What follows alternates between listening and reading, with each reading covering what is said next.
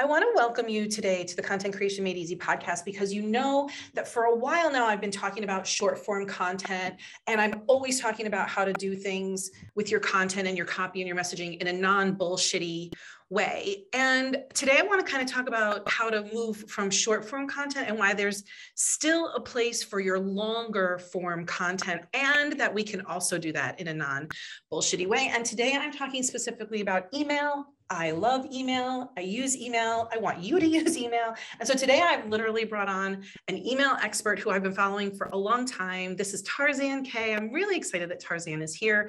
So Tarzan is a former copywriter. She was a copywriter for hire. Like she did copywriting for you. And really, she totally pivoted her business to really lean into email, making email a viable option to create an incredibly successful business. So I've taken Tarzan's email courses. I have a lot of her stuff, and I know that she's an expert when it comes to this. So that is why I have brought her on here to talk about no bullshit, how to make it more fun, how to do it well, why we should do it, and also kind of getting into some more vulnerable stuff where I want to head at the end. So I want to just say thanks, Tarzan, for taking time, especially in the middle of your email stars launch, to come chat with me about this stuff.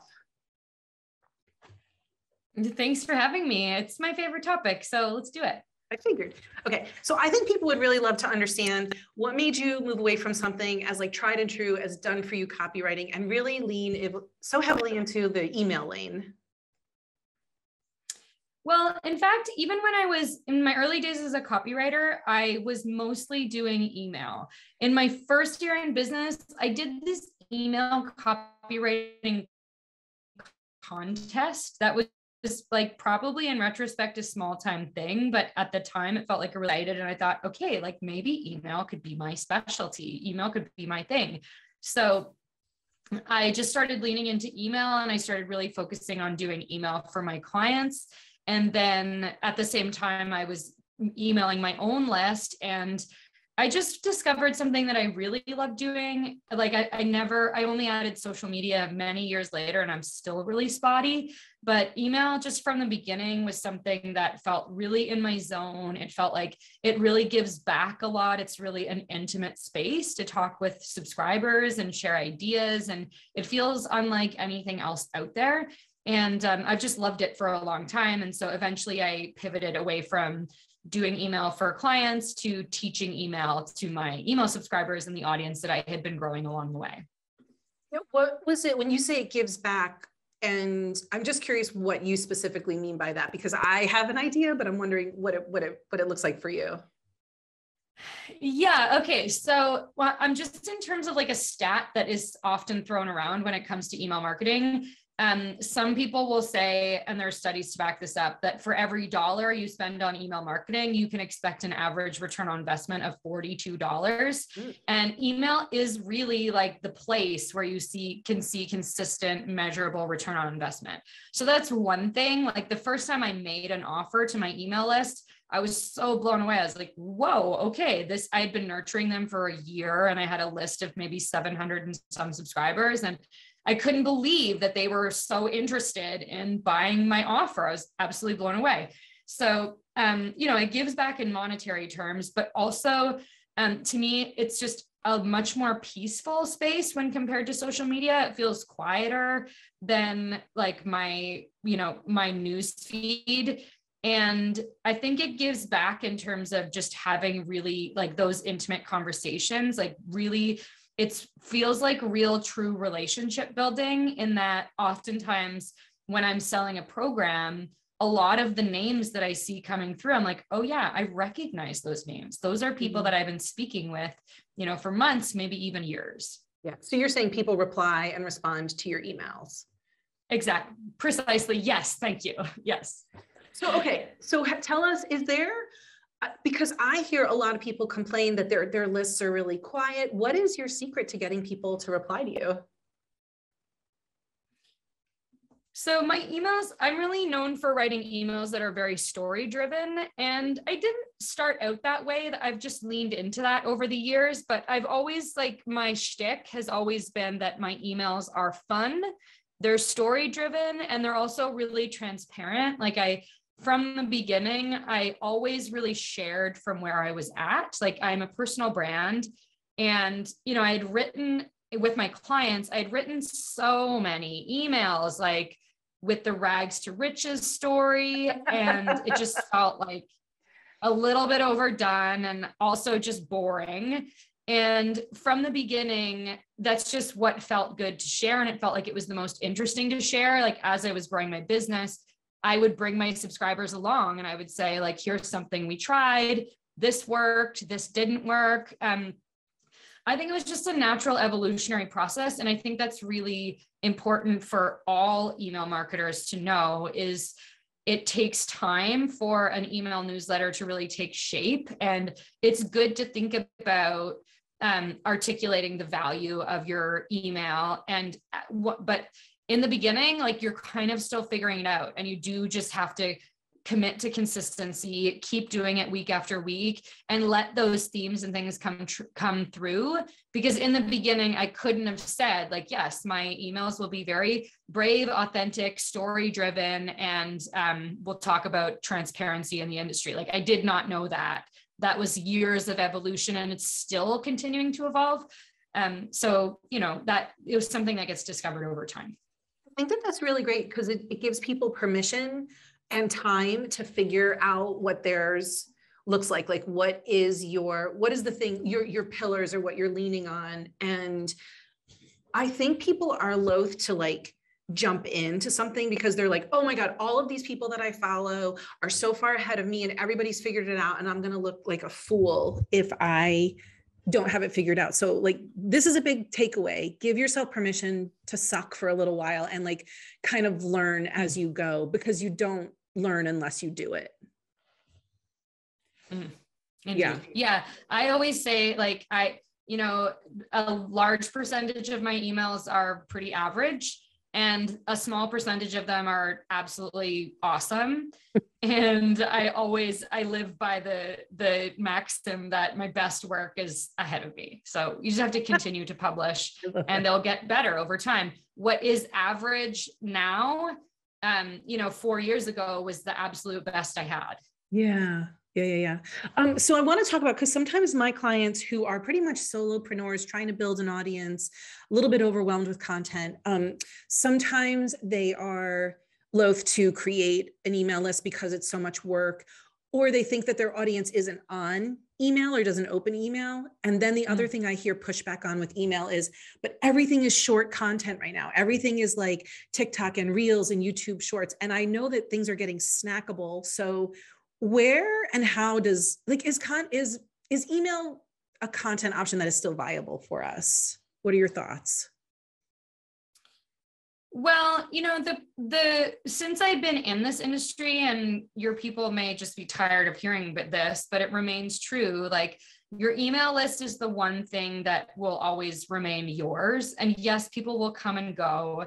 However when you earn someone's email address it is not the same as having someone follow you on Instagram. Like, as an example, I have, you know, let's say 8,000 Instagram followers. And when I do a story, 500 people maybe see them.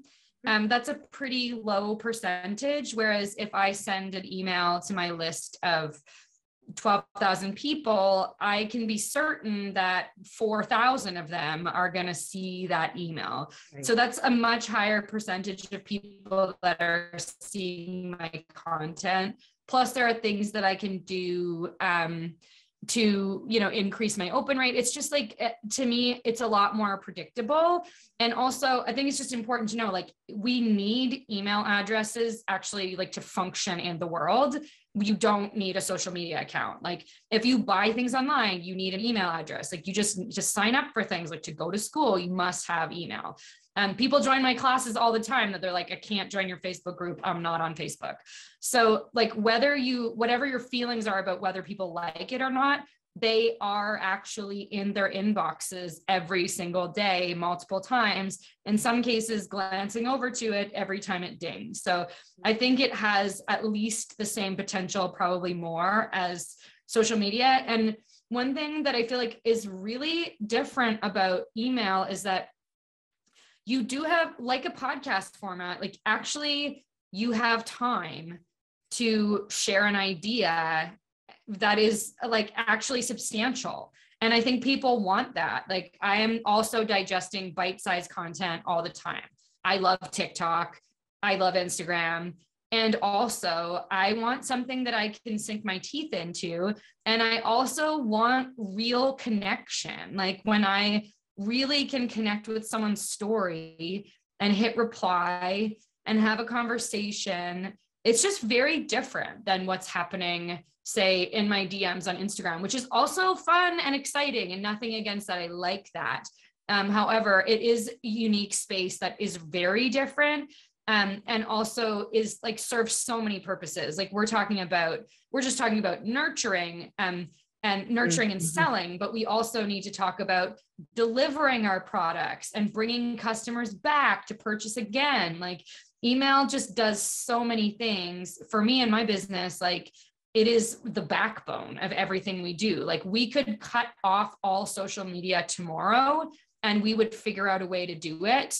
Like email is like it's the spine. We just cannot we get i want like i know some people don't do email in the way that we do it. And i wonder to myself I'm like how do they do it? Like how do you walk without a spine? I don't even understand I totally feel the same way. It's such a foundation of my content. So mm. when um I love that you said the the the remi- so two things like I'm taking away from what you just said. One is like email is there and it's showing up in people's inboxes and it's kind of on us to entice them to open up those freaking emails at this point. Like we have to really have great headlines and subject lines and great content.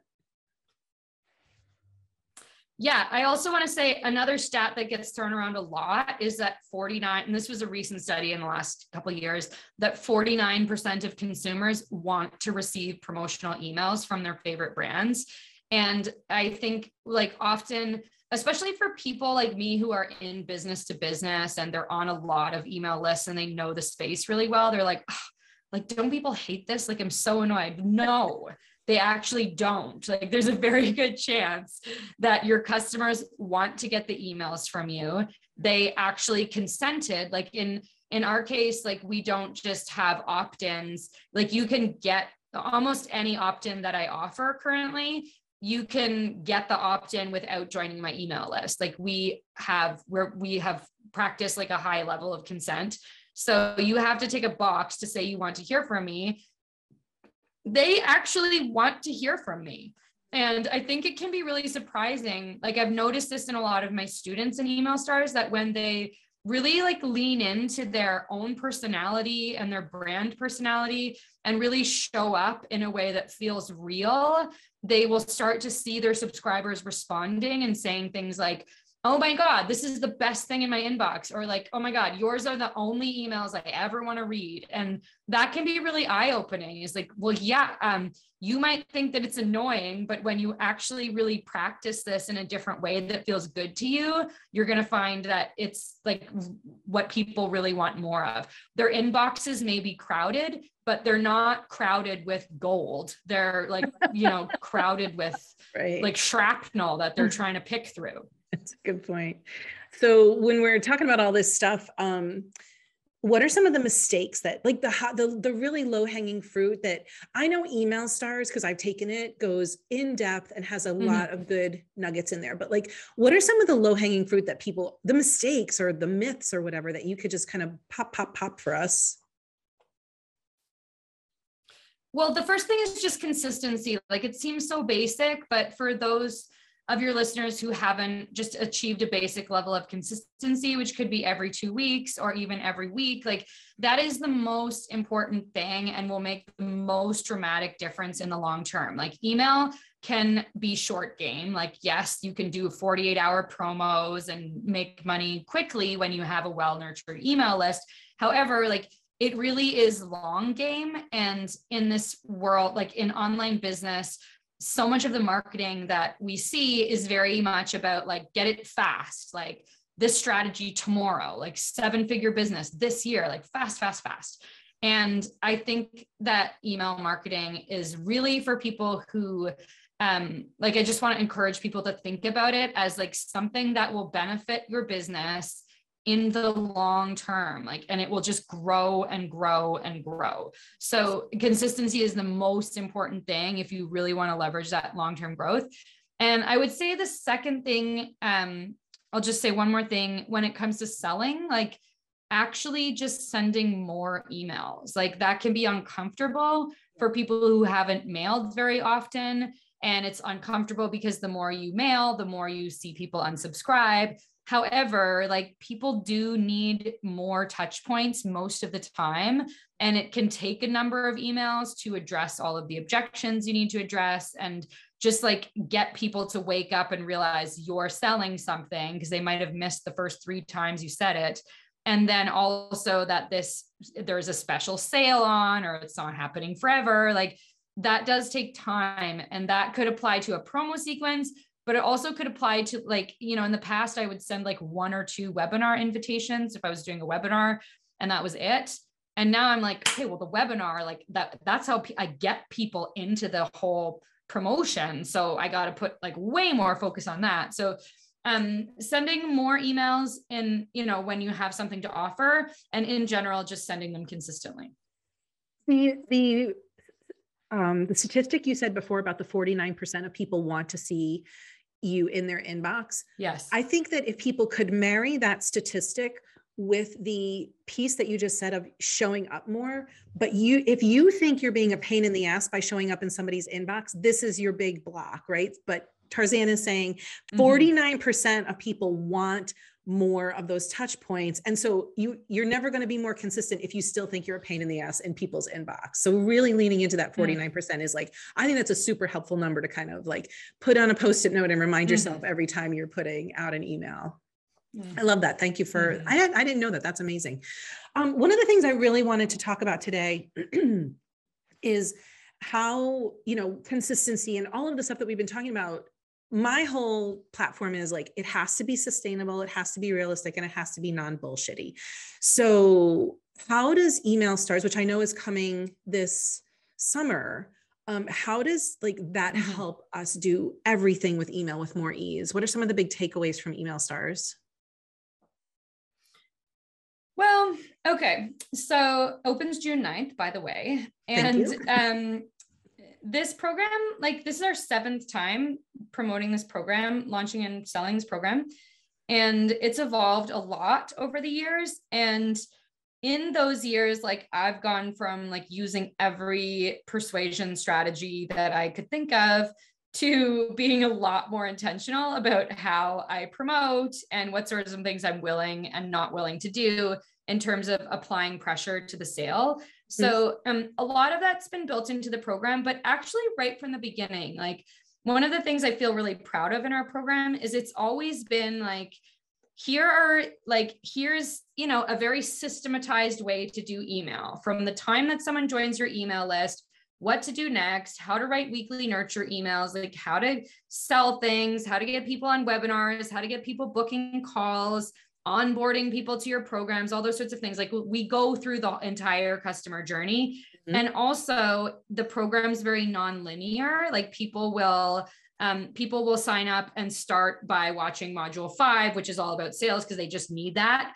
Yes. Um, and then they'll go back when they're ready for nurturing or like it's like something that you can really skip around. And it's also very much like, here's what works and here are like if you only do one thing do this thing. And something i say all the time is like just look for the 10% because email marketing is something that you really can build on and you don't have to i've never really well i've followed a lot of people's systems i've never felt like people necessarily needed to do exactly what i need to do. Um it's mostly like nurturing is really important. Here's how to do it. Here's how to format your emails um, here's like you know all of the logistical stuff tagging and segmenting. Mm-hmm. and you know here are the must do's and here are like all the other things you could do based on the type of business you want to do how you want to sell what strategies you feel comfortable selling. Like do you use upsells downsells cross sells here's how to do those. And um, it's really like a choose your own adventure yeah. kind of program. And i think that's incredibly important because what I want the most from my students is that they really find the joy in their email marketing and really learn to just love the process because if they love it then that's then they're going to keep doing it and if they keep doing it then they were they, then they will really start making money from it yeah, I wanted to really encourage people to check out Email Stars. So I have a program called the Content Creator Studio where it's a membership where people every week get content support. But I'm not an email, like I don't want to be, I don't want to go deep into emails because like you've said today, there's obviously so many uh, avenues you can go with emails welcome emails nurture emails selling emails webinar emails sales like there's so much and mm. I don't want to be the oracle for email. And part of why I really wanted to have you on was that if people really want to go deep and wide on email, this program is a really great program and it and you have it in your on your computer for the rest of your life you can go back you get the updates like tarzan updates things she's very generous with that and so I really want to say to the people listening if email is a thing that you have really kind of said, like, I suck at this and I don't know how to do it, like, go buy this program. It's accessible and you, you have a live component to it, right, Tarzan? Yeah, definitely. There's about 12 weeks of support with yeah. the program and um, it's really hands on. And there's one thing that people really love like some of our power users have logged in like more than 150 times because um, we yeah we have like swipe files for everything so mm-hmm. sample emails like those things those are uh, people not everybody uses them honestly some people don't like swipe files um, but having samples of like here's how this here's how it was done in the past and um, that just tends to make things go so much faster. It gets it gives like it gives, just gets the ball rolling. So anyway that's my that's my plug for emails to stars. I'm not getting paid to say that. So i just really believe in this program especially if you really want to go deep and wide on email. Um, i have another question for you though and it's kind of a little bit out of this lane which is one of the things i've watched you do over the past two years is really dive into um, kind of looking at your marketing practices, deciding what feels good for you, what doesn't feel good to you, really start to be transparent with your audience, kind of in an effort to break down some of the um, bullshitty stuff, the bro marketing stuff, the overt promises that we see that have become the norm in the industry. And I'm mm-hmm. curious, um, well, I'd love to hear your evolution about how you came to this decision to kind of put the brakes on and say, I'm going to do this a different way. Yeah, well, I at a certain point like, you know, I've used all the strategies, everything that I was taught and made lots of money doing it mm-hmm. and mm-hmm. along the way I just sort of ignored or rationalized why some people were getting results and other people weren't. Mm. Um, and of course, that's business. Like, not everybody will be successful in the businesses that they start. And I, I do understand that's normal. However, I just sensed like a lot of people had resistance to doing things like fast action bonuses and countdown timers and um you Value know all stacking. like and value stacking, like valued at eight thousand yeah. dollars today, only five hundred. Like all these things, like I mean, I started to find them a bit cliche, but also I just felt enormous resistance.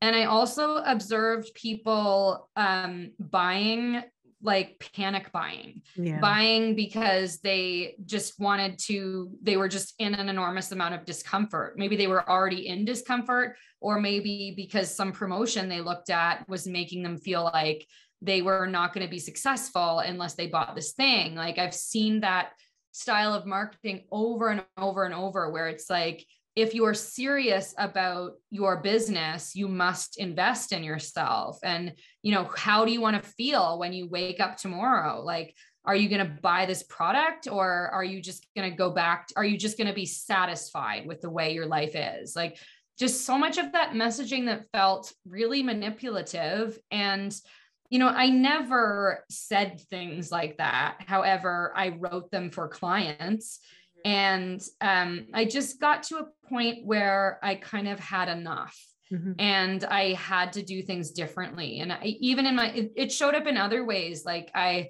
just felt like I was promoting all the time and I didn't put that much effort into creating my own courses. I was just constantly selling, constantly selling other people's things and constantly, you know, talking about how this thing was going to make someone rich or this thing. And um, you know, along the time at that time, I also was like sort of having an awakening in terms of like my um like understanding that I hold these dominant identities as someone who is white and cisgender, um, you know, English speaking, beautiful, charismatic, all these things. I was like, oh, so I started to put it together that like maybe why some of this stuff was really working for me and not others was because of some of these layers of privilege that I hold and me going and telling people if I can do it, you can do it too is like not really fair and not mm. actually acknowledging that in many ways I had a head start. Mm.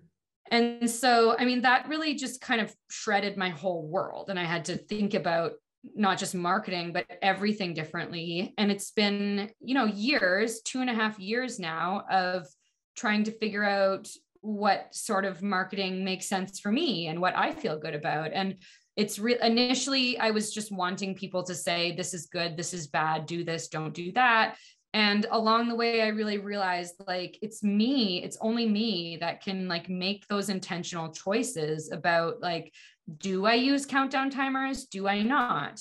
Will i maybe use a fast action bonus for this product but not for this one over here? Like just thinking about these things and um, making the choices that are right for my business and my customers rather than just using every strategy because that's what someone told me I had to do in order to be successful. And in making these changes in my market, the students who come into my programs are actually like really ready for them and really wanting them, um, as opposed to people that just buy and then fall off the map because they never really wanted it in the first place. They just found the marketing so convincing that they ended up there. Yeah. Or they didn't have um, like capacity for it. Like they never really were going to have mm-hmm. the yes. Uh, ability to move through it. Um, so when right. you were kind of shredding everything and rebuilding it and assessing, um, I know that it, by watching your emails, I know that there's a lot of vulnerability that comes through because your stuff is so story based and you were going through such an enormous transformation. How did you protect yourself. And i'm also going to ask you how do you protect your audience for in in being so vulnerable with them? So i have had to learn how to have hard conversations in email marketing and and in all places. And initially like anytime i said something controversial and people didn't like it i just would instantly be like totally like central nervous system completely out of whack and just wanting to like hide under my desk and say sorry and never speak to anyone again. I have had to learn and find strategies to self regulate and also really get clear on what I believe in and who I am and what strategies I'm comfortable using. I have had to grow. And I think being a business owner is like ultimately one of the most profound like exercises in personal growth that there are and so like it was hard in the beginning and i think it is for everyone and having support is helpful. Having like i have a team that i can talk things through but for other people that might be you know having like a peer group that you can have conversations with um, so that support is really important and um, especially as you're trying to figure out like who you are in the world and what your business is really doing um, that can take time to come through. And in the early days, like getting critical feedback sometimes, like especially for people who are marginalized or people who have like a lot of trauma, like, or just like, I just would automatically think like, I am so bad, I just have to quit. Um, so building that strength and resilience within myself and and realizing and this took time like what do i need to take responsibility for and what is not mine. Like now, when an email comes in that's highly critical of something that I wrote, I'm pretty good at reading it and seeing like, oh, that's your stuff. Mm. And in many cases too, I'm like, oh yes, there's something that I really didn't think of. And we could talk about that. And and just coming to understand, like some people will attack you in email. That does happen. Um, but sometimes people just want to give feedback and it can feel like an attack when it isn't an attack. So um, all of that is really like it's learned over time. It requires like I think email is a really brave space, and um, I think you know just like with the writing, like you get better at it by doing it and by doing it consistently. Have you had to do anything to consider your audience uh, when you are being super vulnerable with them? Yeah, I mean, like if I'm if I'm um you know, talking about like abuse or Kanye West or, um, you know, there's some subjects that I will put like content notes at the top so yeah, that, yeah, because I know that I have subscribers who will find the topic triggering. So yeah, yeah, yeah. I like to have content notes, not all the, it's like pretty rare, but I do do that. And also, my team generally reads all of the replies before I do. And I mm-hmm. understand I'm fortunate I have a team that can do that, but that is like that has been helpful, especially in times when I was just really like um, going through a lot and I just needed like it, like I think like let's say you're checking your own email and you've sent something that you think could be a little bit polarizing even just like taking a few breaths and like going into the space in a grounded place, like where I've gotten hurt um, and where it's been hard is when I just like got I just went to like check my email right before a call and like there was this bomb in there that yeah. I wasn't prepared for at all. So, you know, even just like setting aside time now I do it every Friday. I read email mm. replies and I know there's going to be all different types of replies in there and I'm ready for it and I have time set aside for it. Love it. Tarzan, thank you so much. How can people get into your orbit and how can they find email stars? Okay, so right now we're running a series of workshops called the Email Workshops, which you can find at the emailworkshops.com. Um, there's also a Facebook group that goes with it. It's a whole like three week long event. The group opens on May 16th. And then we have workshops on how to do welcome emails. We have workshops on email metrics, and I have another workshop on storytelling. So that's happening throughout the end of May. And then Email Stars opens on June 9th. Um, so you can go to tarzankay.com. All the information will be there. There'll be a link there, or join the email workshops. I think that's a really great place to start and hang out with my crew, meet my team, and learn about email. It's a really fun series of workshops. We, um, it's like interactive. There's no slide deck. I'm teaching from a Google Doc, and you can like copy the doc and follow along and get some writing done and like really get going on your email marketing if it's a goal you have for this year. I will drop those links in the show notes and in the everything else I send out about this. How can people follow you on Instagram? Where are you on Instagram? I'm Tarzan underscore K. I'm also sporadically on LinkedIn, but more so on Instagram in my stories. Thank you so much for all your gems and your time and your expertise and for going to all the places I needed to go today to have this great interview. Thank you so much, Tarzan. Thanks, Jen. Bye, everyone.